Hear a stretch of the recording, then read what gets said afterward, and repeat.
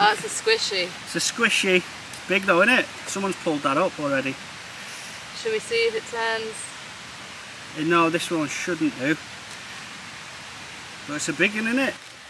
Let's have a little look underneath. And as you can see, Yeah. right there, focus, there we go. Tiny little spikes. Completely edible. And believe it or not, people pay a lot of money in restaurants for these. Look how many we've got. and we're literally just collecting them in abundance in my secret location. Look, chanterelles, ceps, hedgehog mushrooms, thank you. what have you got there, babe? Shanters. Shanters. Old shanters, isn't it? There we go, so we've got some chanterelles See, there. these ones- Oh, wait a second. These ones aren't good because they're closing No, up. they are, so they're veined. They're not gills. Wait a second, babe. What? Let me just double check these.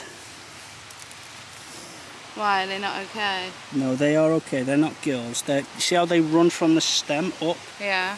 And then you see the top bit how it goes into it like a trumpet? Yeah.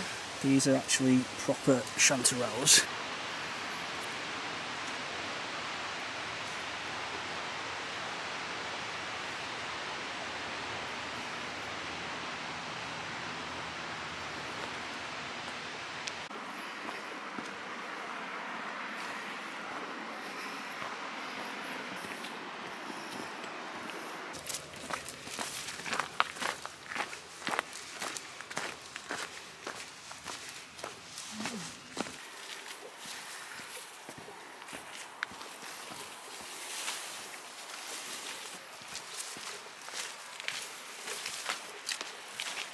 Oh, Emma, we've had a really good haul of mushrooms, haven't we?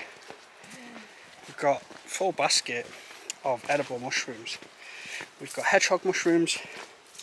We've also got uh, penny buns, ceps, um, as you call them in France, and uh, chanterelles as well. So we are super, super happy, and we'll be eating them up for supper when we get home.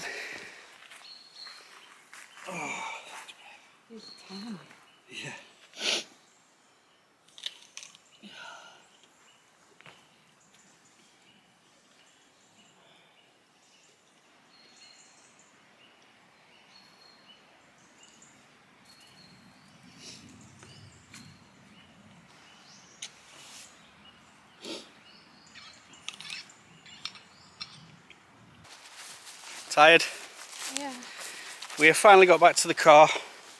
Today is probably one of the best days I've ever had in terms of foraging and being out for a walk because I was with this lady here. I'm hungry. We're hungry as anything. We've been up since 7 o'clock. We need food. Luckily, we've got all of these things. Great haul today. Amazing amount of mushrooms. It's just amazing how many you can get. And, uh, you know, it's free food. Picked from the wild. Very healthy as well. Um, we can make plenty of dishes with that. But I think you want to go McDonald's? McDonald's it is. We can save them for tomorrow.